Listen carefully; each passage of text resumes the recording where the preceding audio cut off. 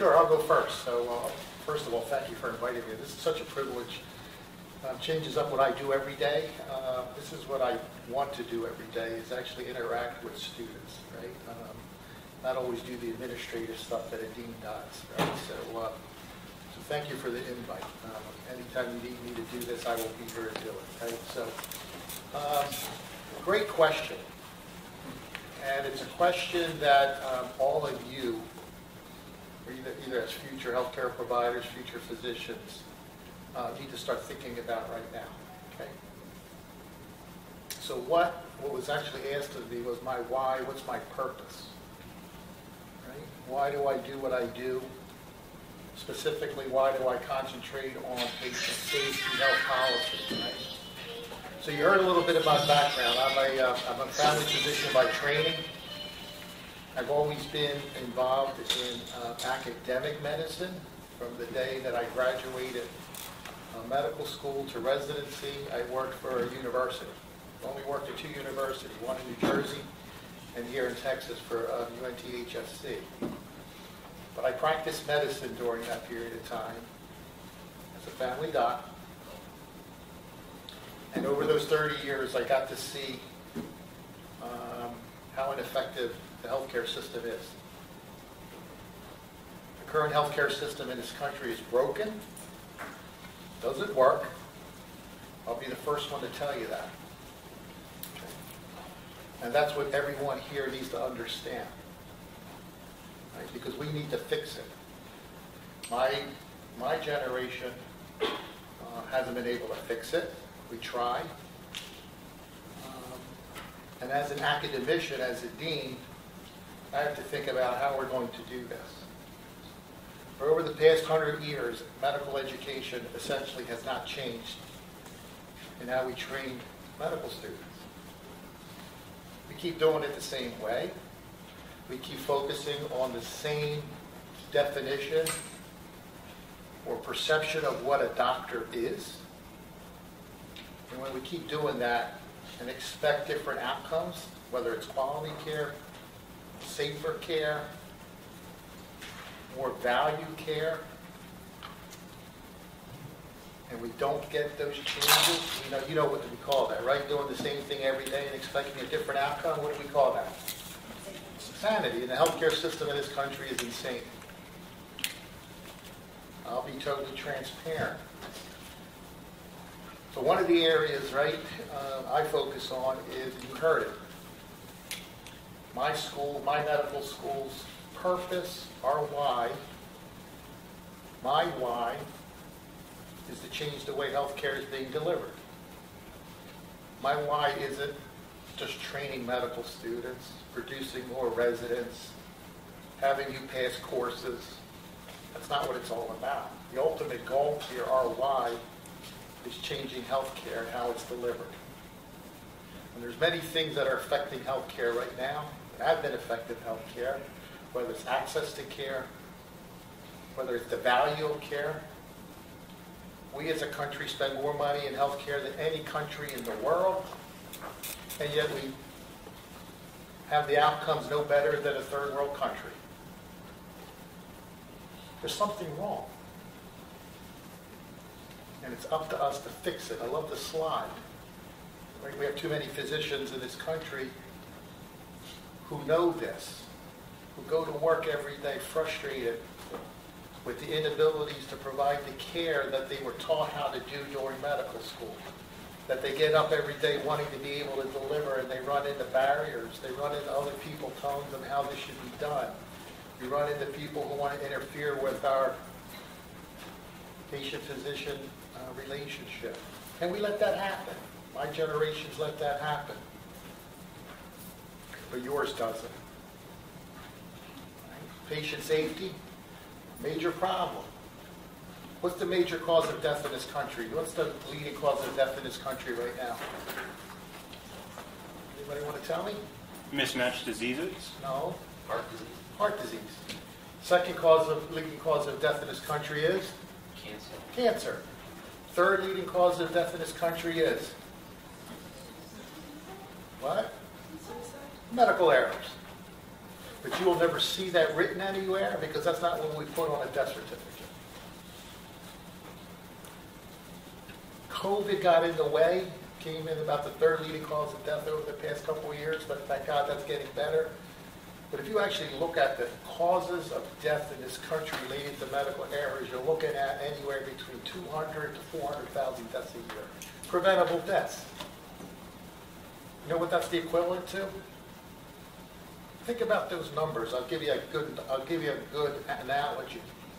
If every day in this, every day you went home from your classes, you turned on the TV and you saw the news come on and the news said, two jumbo jetliners crashed today.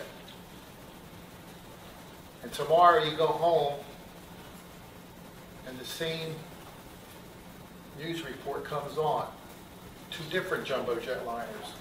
And the next day you hear it again. And you hear that 365 days a year, year after year. That is health care, and that's patient safety, and that's related to medical error in this country. And yet we allow it to happen every day. If two jumbo jetliners crashed in this country for two days in a row, you could rest assured that the airline industry would be closed within two days. Every airline, every plane would be grounded. And yet all of us and all of our communities go to doctors and hospitals every day in that system. How do we let it happen? We know what the numbers are. It hasn't changed. It hasn't changed over the past 20 years. Big care hasn't gotten any safer. So as a dean looked at that, we have to do a better job at preparing physicians, nurses, administrators, understanding what patient safety is. And I can tell you, most physicians, and I have no problem saying this, know absolutely nothing about safety science, absolutely know nothing about how to make care safer. They think they do, but they don't. And that's why we can't get out of, our own way because we fail to admit the fact that we don't know what they're doing. So, TCOM, changing the way healthcare is delivered. One of the ways we're doing it, every one of our graduates not only learns about patient safety, many medical schools may teach a couple lectures on patient safety. TCOM not only teaches a major course in patient safety that is supported by the Institute for Healthcare Improvement, We require every one of our students to get an international certification in patient safety. I have one, 25 of my faculty have one. Now over 650 graduates of TCOM have one. We make up about 15% of the world's patient safety experts come from TCOM. Every one of them know more than most hospital administrators related to patient safety. Will that make care safer tomorrow? Probably not. But we start somewhere. We start somewhere. We start planting seeds. We plant one tree at a time. Hopefully they will teach students that come after them about patient safety. They will develop leadership programs. They will become leaders of hospitals. They will run their own practices. They will know how to make care safer for their patients and for our community. I go around the country and tell this story to other medical school deans to try to get them to do what TCOM did. We're the only medical school in the world that does this. How can that possibly be? How come I have to spend so much time convincing medical school deans to invest money to do this? It's not cheap to do it. I invest money to do it. You have no problems investing money and teaching out teaching students about cardiovascular disease. You have no problem teaching students about cancer. Third leading cause of death, we got problems teaching students about this. We have to convince people to do this. That's why I get up every morning. That's why I'm passionate about patient safety. I was six years old, had my tonsils out. I was sent home. When we used to take tonsils out many, many years ago, when we were young. ton- taking your tonsils out was kind of a routine thing. Wasn't when you, you knew you were going to get them out. That's how healthcare's changed. We found out that that was an unnecessary operation. But when I was six, that was just routine. Had my tonsils taken out. You get sent home the next day. I got discharged. I was sitting, in, I remember in my parents' bedroom recovering from my tonsillectomy. I was watching TV there all by myself. My parents were on the first floor, I was in the second floor uh, in bedroom. Started choking. Couldn't breathe. Guess what happened? Surgeon left the scars in the back of my throat that came dislodged. I aspirated it. Was turning blue. Thank God my mom was walking up the steps to check on me, saw me choking, helped me out. I would have died. Six-year-old kid would have died from a tonsillectomy. That's patient safety. That's a near miss. That's a near miss. You know how many near misses there are a day? Hundreds and hundreds of thousands of near misses that never get reported. I'll stop there. Thanks. That's pretty sobering, appreciate it. Now, uh, I'm going to tell you a little bit about myself first. I did grow up in Duncanville, just down the street. And if you ever been there, it's a pretty little town, and it's uh, pretty much what it was like in the 70s, you know. Uh, as far as being the only minority, there was probably 800 students, and about 20 of us were not Anglo, and that was different. Um, and growing up, I always seemed to get hurt. I don't know why. Uh, I guess I was a daredevil. When I was nine years old, I broke my leg, and I had to crawl across the ice when uh, my little niece was learning how to skate over there. I was like, I, I should have been in that class, you know. But uh, I saw the doctors downtown, Dallas, and uh, they did a great job, job on my leg, and I thought, oh, that might be a great thing. But I was more interested in law at the time, so I thought for the longest time I'd be a lawyer. I wrote my hand, wrote my arm when I was 12 years old riding a bicycle, and I go, dang, these guys are nice, maybe I should do this. And I still kind of put it in the back of my mind. And then uh, when I was 14, my grandmother, who, you know, used to write her letters and draw her pictures when I was a little kid, and she called me Johnny My Love, that was her pet name for me. But she passed away in the middle of the night, and I said, I have no idea why she died you know, what happened to my grandmother? Nobody in my family was from the medical field. You know, when I got help, I went to Parkland or somewhere like that, and my mother had to translate, and I'd be sitting in the corner. She said, "Are y'all going to help my kid? He's been over here for a couple of hours," and of course they they helped me out. But uh, you know, I realized I wanted to do something in my life that helped people, that made a difference, and you know, I think being a lawyer does that, but at the same time, I wanted it to be more meaningful, even and also add something to what my family lacked. And that's why I decided to go to medical school. And to be honest with you, I know there's some bleak statistics, but I love what I do. Every day I go into work, I see patients that I've known for 15, 20, some 30 years. And I've helped them stay alive and healthy. And, and uh, you know, my passion is type 2 diabetes. I have like reams of cousins with diabetes. My grandfather had it when he was uh, young and lost a leg and his kidneys went and you know uh, he used to tell me crazy things about his diabetes. I said, Grandpa, just do what the doctor says, okay? But uh, um, you know now the advances in type 2 diabetes medicine have made it so pleasurable. When I first started practicing, and if y'all ever do medicine, you'll realize patients get blamed for so much. You know, patients get blamed for their diet. Patients gets blamed for their exercise or lack of. And what I realized with the new medicines is that it's not their fault that they have an appetite that is twice as much as everybody else and that they gain weight faster because they're hungry again. But when you change that whole dynamic with the new medicines, all of a sudden they're losing weight like crazy and their sugars get under control and their risk for heart attacks and strokes and losing limbs and going blind just goes down and down and down. And that's what I see with the promise of medicine. And every day I go to work, I actually say, you know what, I hope I have a diabetic today, a new one, because I want to tell them about these new medicines that we have now. And I want to make sure that they realize it starts with diet and exercise. You know, you can't take the medicine and just go, oh, you know, I'm going to be great. You got to you got to be interested in your health, and that's what I get my patients interested in. And uh, um, you know, the other part of what I do is we call organized medicine. Organized medicine is just a bunch of doctors getting together and say, hey, this isn't working. Let's make it better. And that's what I started doing back in about 2005. And, uh, you know, in 2005, a, a lot of doctors were leaving the state because malpractice rates were going out the roof. People were getting large settlements. And in Texas, we started this thing called tort reform where if you got sued, you could only make $500,000, you know, if you sued the hospital and the doctor.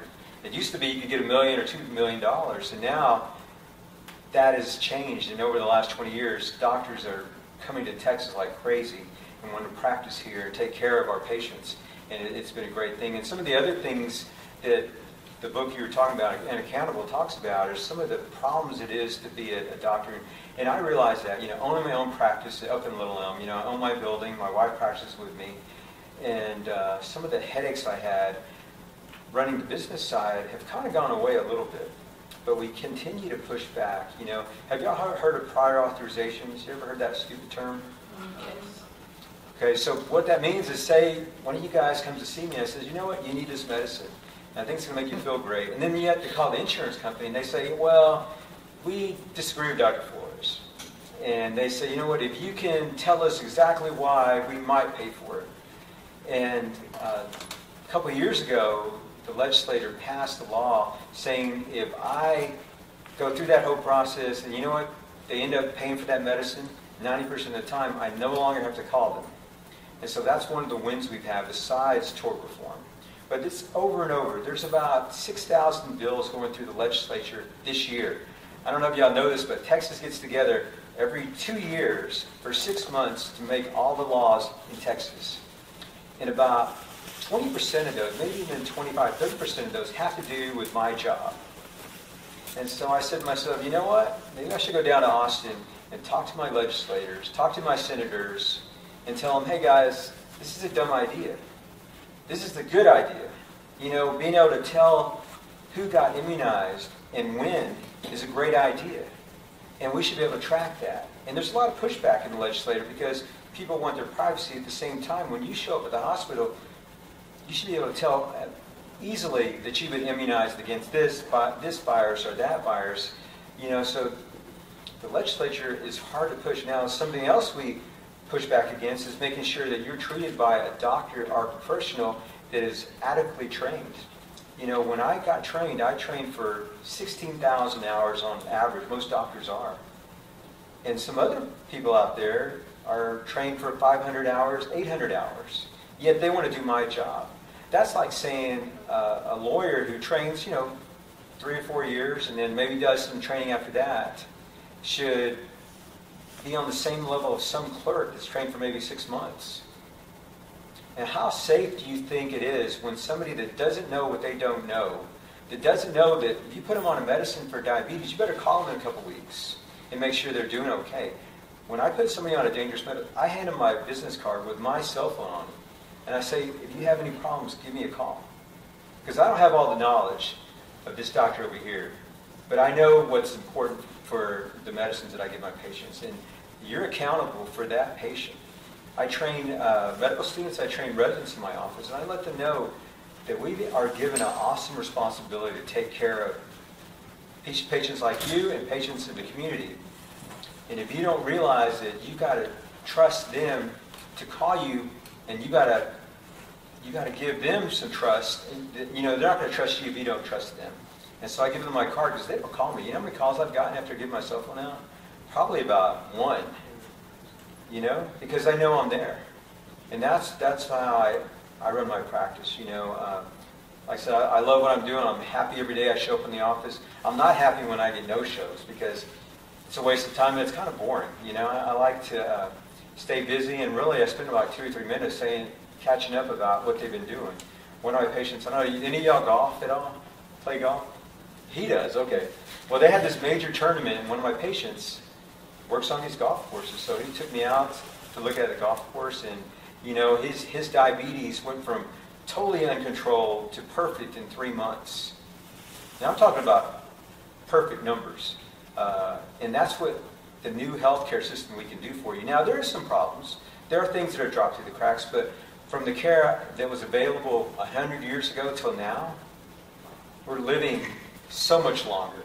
You know, we have access to care now. There's problems, but, um, you know, granted, there's things that we can do, but I, I'm, I'm very optimistic. I love being a doctor, and I tell anybody that comes to my office, hey, if you want to make a difference in your life, become a physician, become an internal medicine or primary care doctor, where you see people every every day, every day of your life, if you want to, not that many, not that often, but I make sure that I tell them, look, you're not going to live to be 100, but if you live to be 80, I hope that you live a happy life and that you're doing everything you want to do. You see your grandkids, you go, you're able to go to their school and participate in their life, because too many people are having strokes and heart attacks and feel like crap and can't get to where they want they want to go and do the things they want to do. And I, I push back against that by just giving them good advice. You know, quit eating the crap that's out there.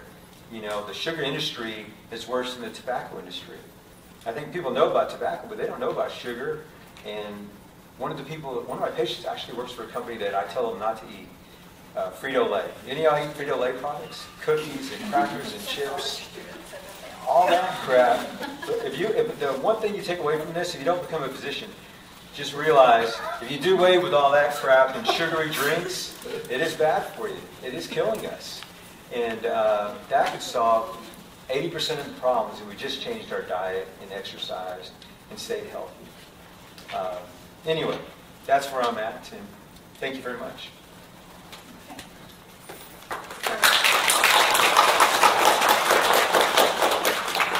So the next question that we had kind of bounces off that.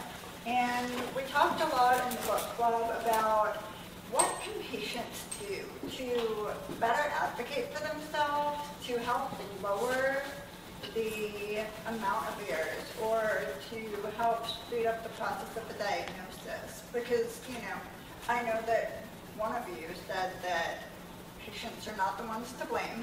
I agree.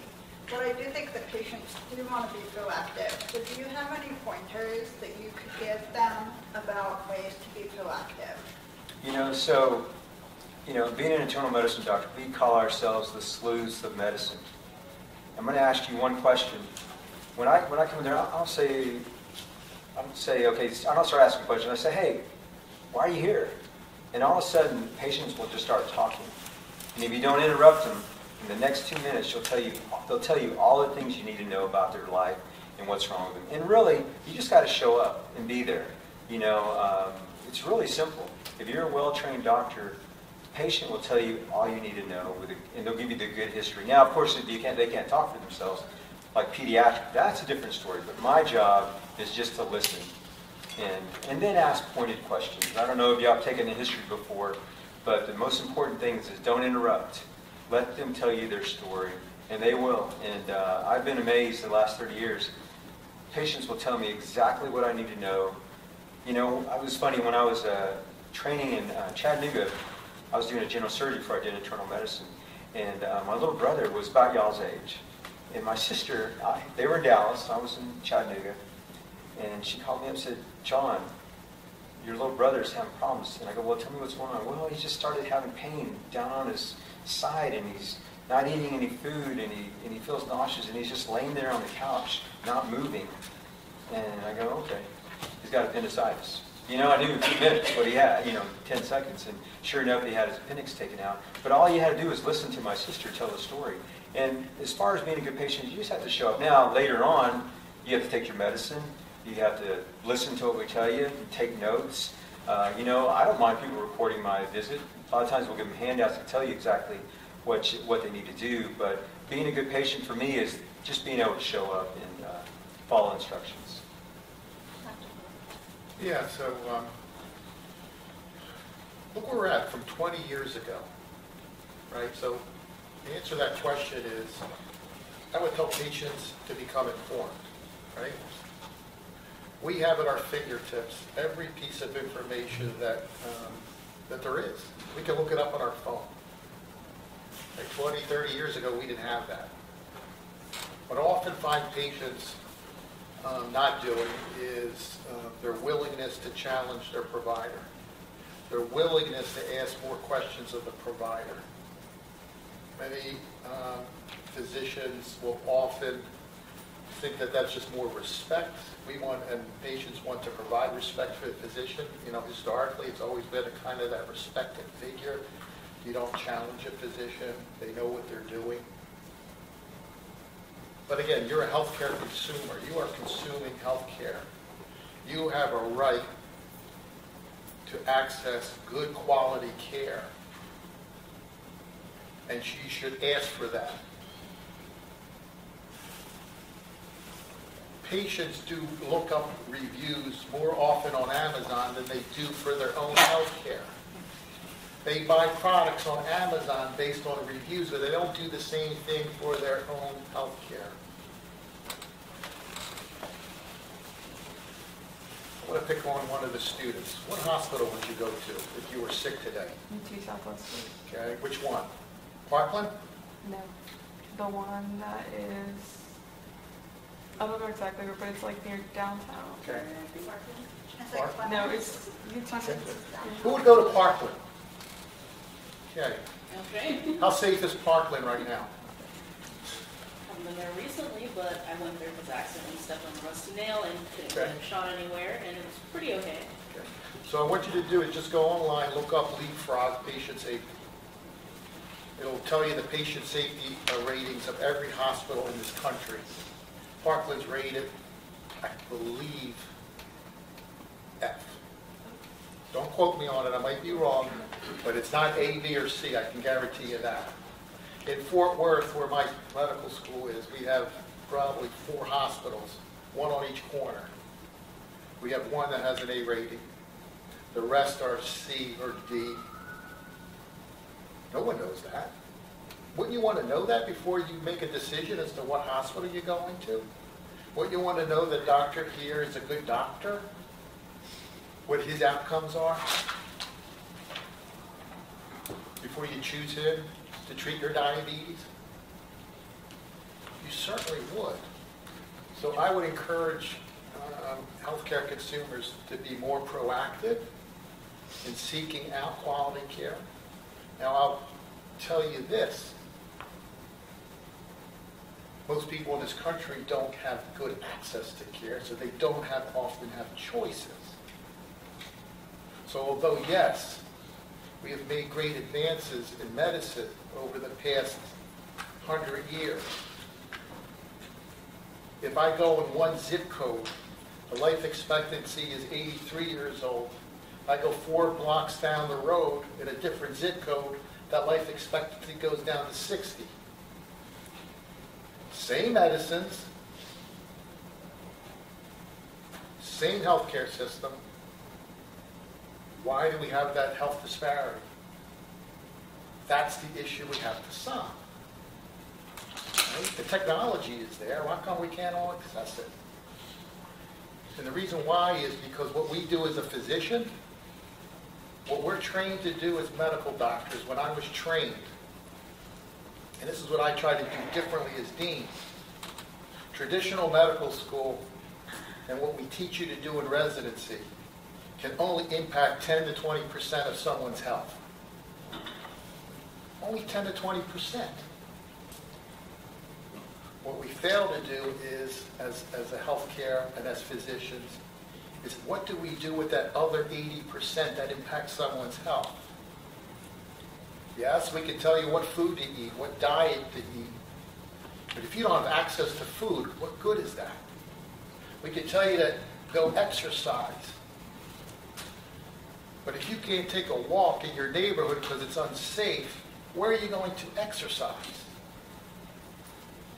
That's what we as a healthcare, as a healthcare system have to be able to better address. We call that whole health.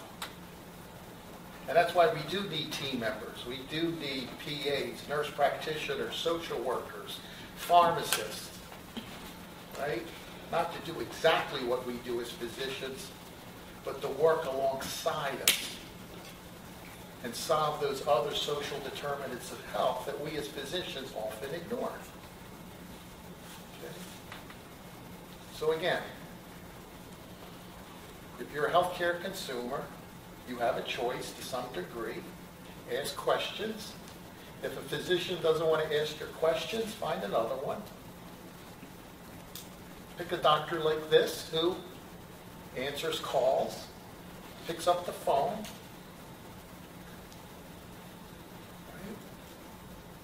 And advocates for you. There are many out there, and yet there are many that don't do that every day, unfortunately. So that's what you can do for yourselves, right? In seeking quality health care. You can find it. Again, you just have to be able to ask the right questions and develop that trusting relationship with that provider. If it doesn't feel right, don't say, I'm just going to go along with it. That's not right. You wouldn't do that. You would, you would you take your car to a mechanic that didn't know how to fix your car? Or want to spend the time?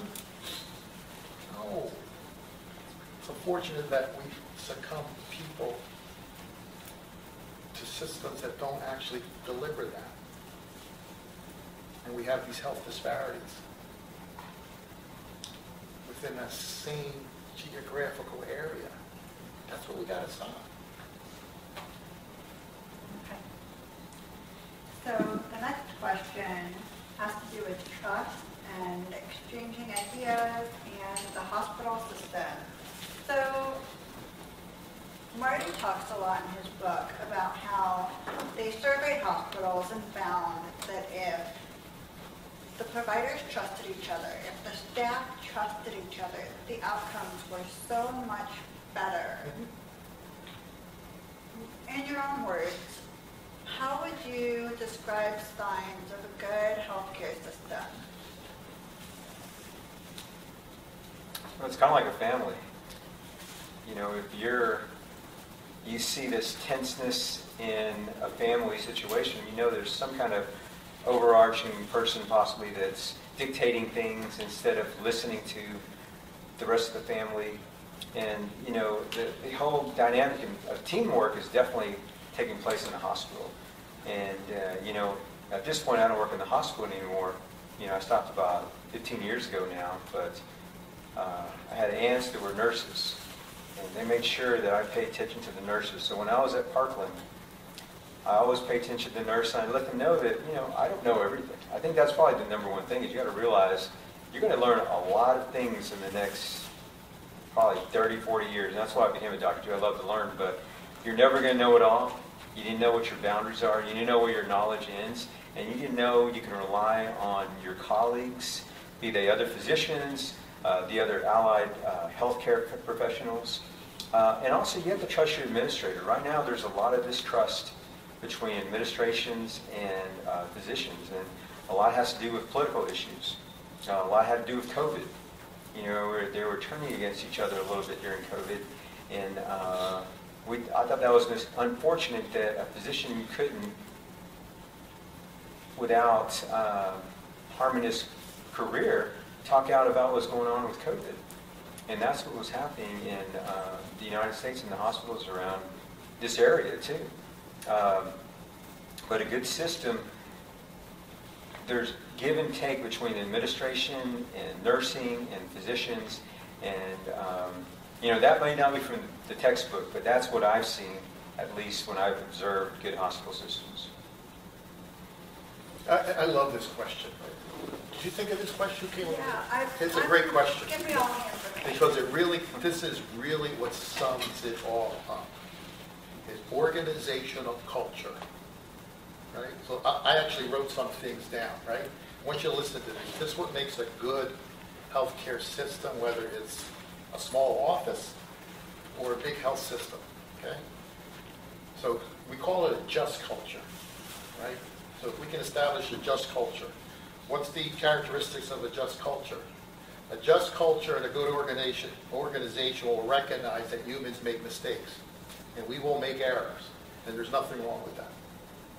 Okay? The second one is it encourages humans to self-report their errors, and particularly in medicine, near misses. Wow, I almost hurt that patient at I have two options. I almost hurt, I almost hurt that patient. I could keep my mouth shut, or I can report myself. And the just culture will say, humans make mistakes. Let's figure out how we can create a system where that doesn't happen again, where that near miss turns into a actually bad outcome. Okay? I sit on a hospital board, and every month I ask, how many near misses were reported in this hospital this month? Near misses, mistakes. And I'll ask you, do I want to see that number go up, or do I want to see that number go down? Who says go down? I'm a board member. I want this hospital to function really well. Do I want to see that number go down every month or go up? Who says go up? Who says go down? And most of you really don't care because you didn't put your hand up. You gotta make a call. Who says go up? And who says go down? The go ups win. A just culture wants to see more and more reporting every month. Why? Humans make errors. We will never prevent human error. So a good organization will want to see their near miss reporting consistently go up. And obviously then we deal with that. We try to fix it. We try to create systems. The third thing is people aren't punished for their mistakes. Right? People aren't punished for making a human error.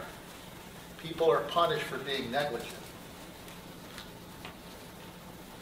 Two different things. Anybody hear about the case in Vanderbilt University last spring? A nurse, Redonda Vaught, gave a patient the wrong medicine. Patient unfortunately died, tragic. Vanderbilt kind of tried to cover it up. Redonda Vaught stood up and said, I made a mistake. I'm sorry I made a mistake. Why did she make a mistake? Hospital was short-staffed. She was asked to do something she doesn't normally do because she was covering someone else.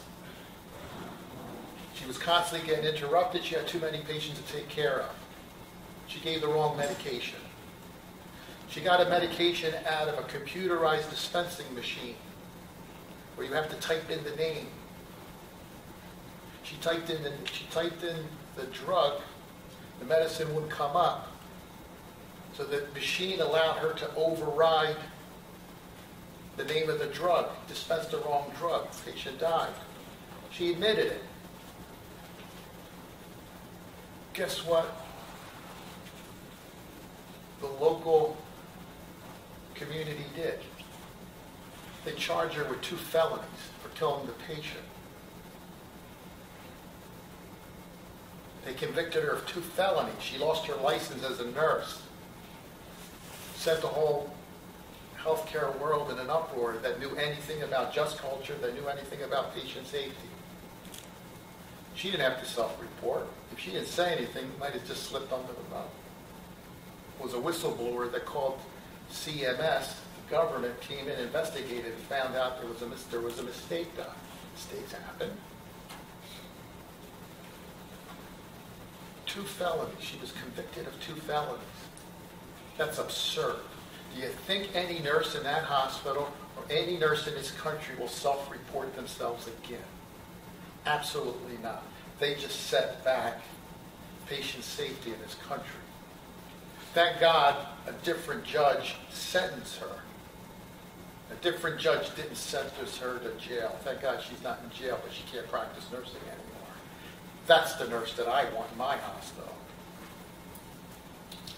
It was the system that caused her to make those mistakes. Overworked, too many patients. Fix that. She wasn't negligent. Okay? The fourth thing is leaders share data. They don't cover it up.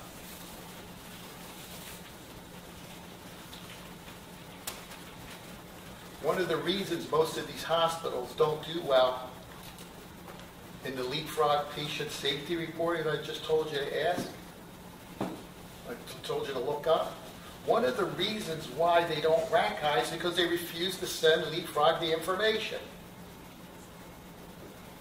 Why do they refuse to send information? You could make assumptions, I don't know. They could be a great hospital. They could be a sick, but they don't put the information in. That just means you don't have a culture of safety or willing to actually report your figures. That's a concern to me. Leaders do walk-arounds. Leaders walk around in the hospital and talk to the people that do the work. They ask them, what can I do for you? Anybody watch the uh, show New Amsterdam? Anybody watch that show? I mean, guys gotta watch, you're gonna be doctors, you gotta. Right? Perfect example of head of the hospital walks around and says to the nurses, the people who clean the hospital, what can I do for you? How can we make this place better? There's a concept called high reliability organizations. You would expect healthcare would be a high reliability organization. You would want it to be highly reliable, correct? Healthcare is not anywhere close to a high reliability organization. A high reliability organization is defined as an organization that, you've heard of the term Six Sigma? Anybody hear that term? Six Sigma? Like the Six Sigma bell? Like what? it's a, a badge kind of, uh, It's a badge, but again, so when we talk about Six Sigma, we talk, we talk a lot about this in patient safety. In order to reach Six Sigma, you have 3.4 errors per million times you do something. That's Six Sigma. Very few industries are at Six Sigma. The nuclear power industry is Six Sigma. The U.S. Navy is Six Sigma. Guess where healthcare is? Three Sigma. What does that mean? 64,000 errors per 1 million times you do something. That's healthcare. Got to do better. So high reliability organization, characteristics. They are preoccupied with failures. They don't talk about what they do right. They're constantly thinking about what's going to go wrong. They predict what's going to go wrong so they can prevent it. Second thing, they're reluctant to simplify things or simplify explanations. I sit on a board, when things happen, I get a simplified explanation. It happened because of this. Never accept a simple explanation. Do a root cause analysis, deep dive into the system that caused the problem. We rarely ever do this. High reliability organizations will do this. Sensitivity to operations. Hospital leadership will understand what's going on in his shop or his her shop in her hospital. Understands what's needed. Understands what his people are doing. And trusts his people to do it and tell him or her what needs to be done. Fourth thing is commitment to resilience. Resilience. You're going to mess up. You're going to have bad days. But what do you do with that? You get back up, you figure out what went wrong, and you do it better the next time. The fifth thing is deference to expertise. No hospital leadership is an expert. A good leader is not the expert. A good physician is not the expert. I will tell you that. A good leader and a good physician surrounds themselves with experts. And you trust your experts to do the jobs that they were trained to do. So we trust our nurses on the floor. We take care of patients every day, and we listen to them, and we let them tell us what needs to be done. not the other way around. Okay? Okay, so this is less pertinent for the students in the room today, because they've got a while if they decide to go down to med school. But for the residents and for the med students who are gonna, you know, hopefully hear this recording, I really wanna know, when looking for a residency, you know, all you have to do is go on Reddit or Twitter and you can find horror stories. And I know that these are like the underbelly of the world, but, you know, the stories are happening. The people, the students are experiencing these terrible situations. So tell me, are there any ways that students, medical students can look at residency programs and kind of know, you know, is this a good program? Is this a safe program? Is this a program that's not going to compromise me as a young physician? You know, um, residency programs are so tough because it is true, you know, you don't know what you're going to get until you really get into the program itself. But you can talk to other physicians that are in that program. You know, when you sign up, I know, I think now it's more automated. I know a lot of y'all are going to just get online and uh, sometimes just do online interviews. But I think it's important to visit those residency programs where they're at and see what the living conditions are. Talk to those residents that are in that program. And then I'm sure there are Google reviews. Was, you were talking about Google reviews earlier, and I was like, people are Googling me all the time and uh, looking at my reviews. And so it, it is a good thing that does happen. I've got many patients that tell me, oh, yeah, I saw your reviews, blah, blah, blah. And I was like, okay, well, great, let's talk about you now. And uh, residency programs, I don't know if they have that, but there's probably some kind of review process.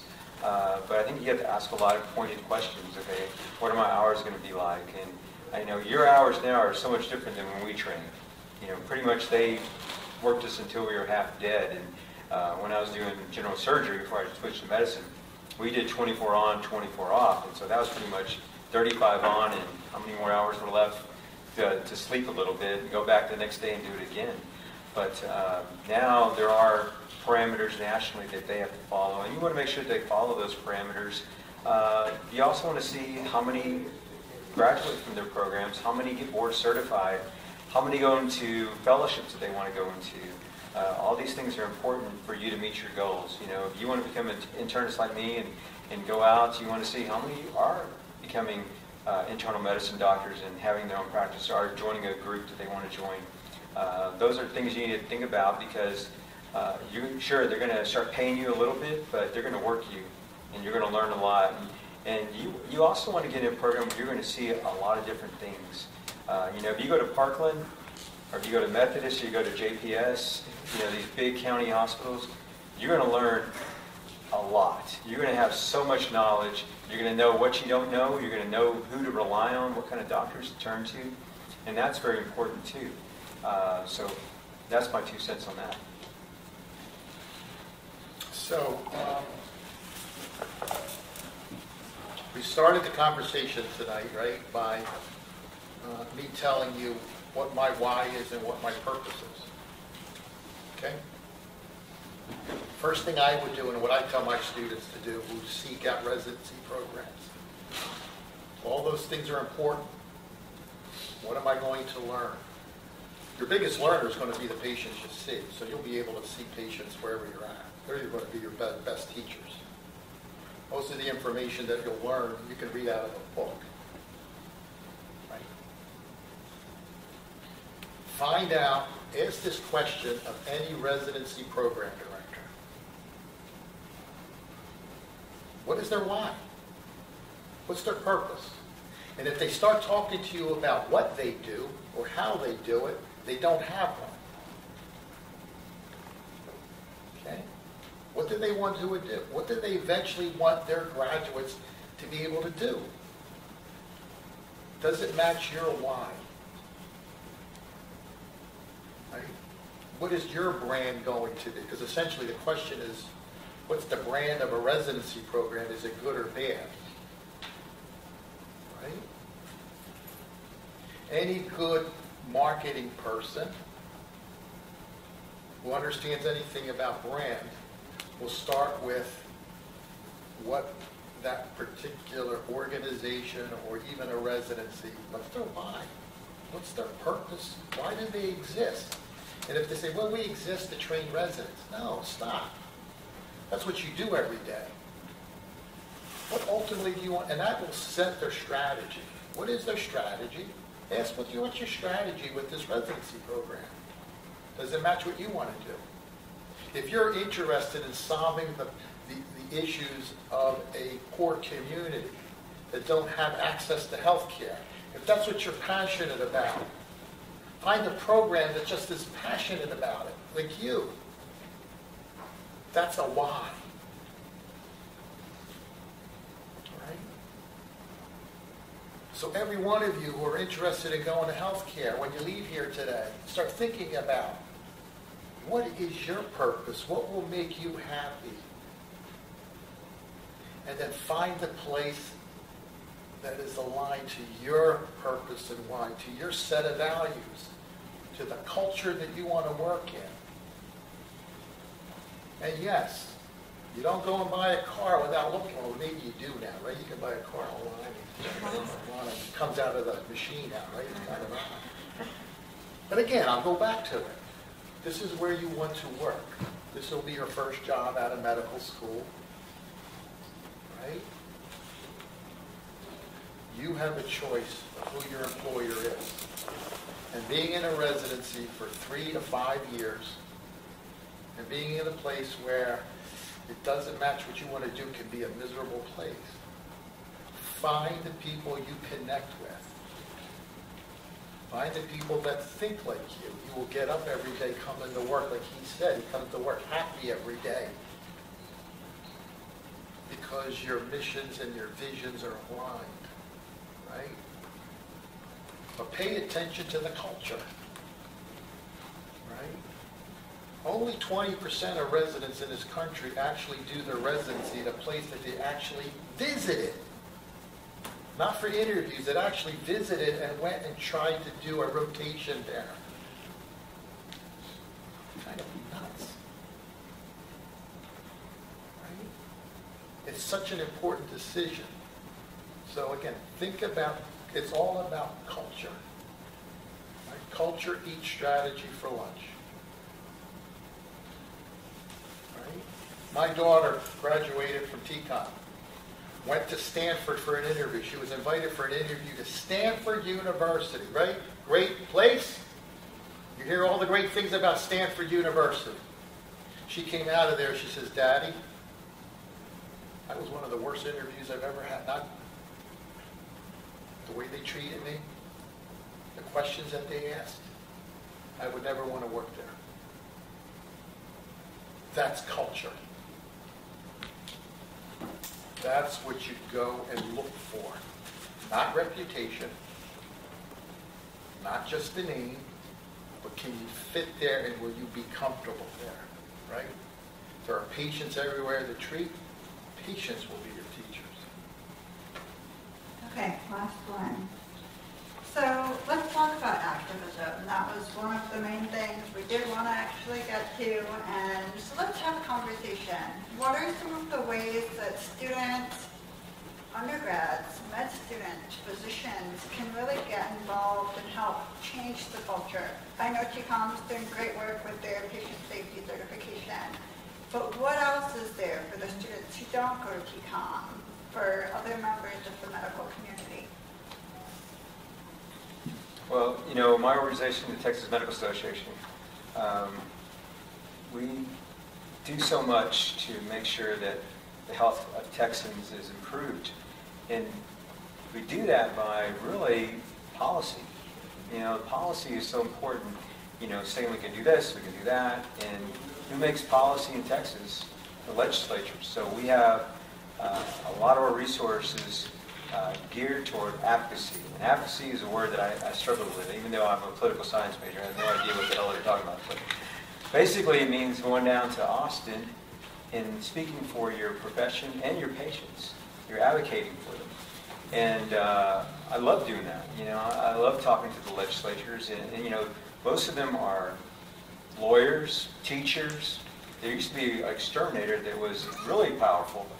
And he's making laws that determine our health, the health of our Texas and the health of our, our medical practices. Uh, now, as far as getting involved, the way I got involved was the thing we do called First Tuesdays. So the first Tuesday of every month of the session, me and about four or five hundred of my colleagues take our white coats, which I don't wear anymore, to be honest with you, but we wear it when we go to Austin. We have medical students with us, uh, residents, and we talk about things like residency slots. You know, we used to not have enough residency slots in Texas, so how are we getting the doctors trained? So we made sure that the medical students were there saying, you know what, I want to be uh, internal medicine, and there's only like 10 spots, so we need to fund more. And it costs a lot of money, millions of dollars to fund those residency, residency programs. And so we make sure the legislators understand, okay, we got these kids through medical school. We've probably spent $200,000, $300,000 of public money on those students. And we're going to let them go to Florida or California or wherever instead of keeping them here because we know that residents that finish their residencies here tend to stay here. And uh, we want them here. And that's, you know, one of the big areas where y'all advocate because we let y'all tell your stories about why you want to be a doctor, why, you know, your why, why it's important for them to have to pay for those slots. And we've been very successful. Right now, there's 1.1 average residency slots in Texas per medical student. And we've got to keep working because there have been another 800 students that have been added in the last five years. We've doubled the number of medical students, uh, medical student spots.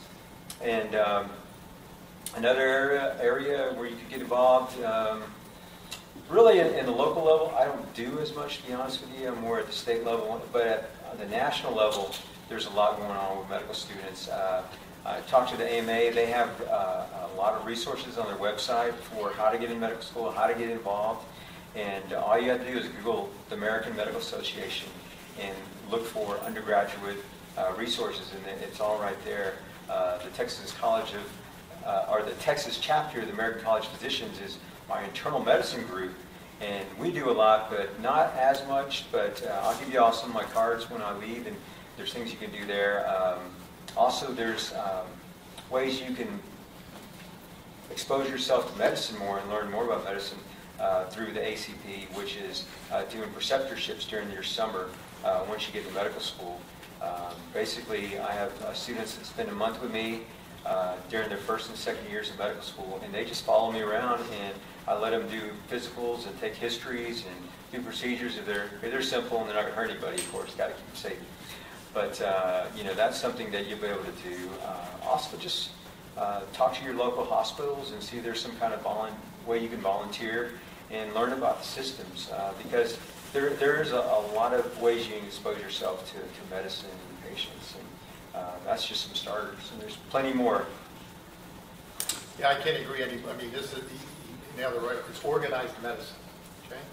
So um, let's stop complaining about it and actually becoming change agents, right? All of us can be change agents if, one, we know how to change the system, we're willing to change the system, we're willing to put in the hours to change the system, right?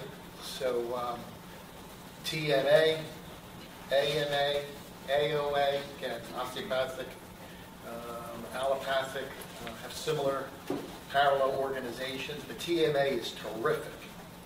Every one of my students gets free membership to TMA. They get free um, membership to the osteopathic version of that. They're invited to their monthly meetings. Okay? You just got to take advantage of it. Right? We are going to be handing this profession down to your generation.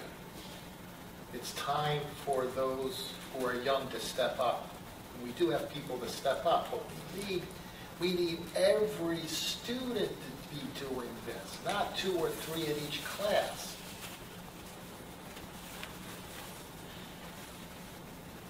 When and if you come into medical school, mark my words, you will be busy learning medicine. There will be some schools, like mine, that has a large chunk of curriculum that's just focused on how are you going to change the healthcare system. I'll teach you about policy. That's how the sausage gets made. I hate politics. I went into medicine because I hate politics. I wanted to help people, right? We all want to do that. But I came to the quick realization that it can't be done unless you know how to work the system. And working the system is through policy. So if there's opportunities as you're going through your early education to get training in health policy, to get trained in public health. Anybody in here studying public health? I want you as my medical students. I want you as my medical students. Who's studying biology here? That's what I studied. Didn't help me a damn bit in medical school. I must be saying, I got those nuts, right? They got me into medical school. Had to pass that darn organic chemistry class. Didn't use organic chemistry once in my life. I don't use it now. Okay? Dr. White, you. It is what it is. Right?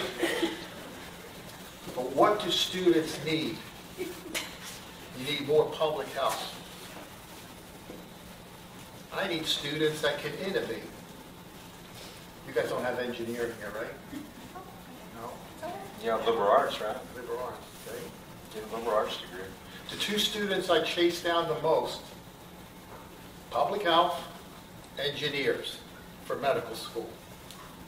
Yes, we'll take you if you're biology and chemistry and all those.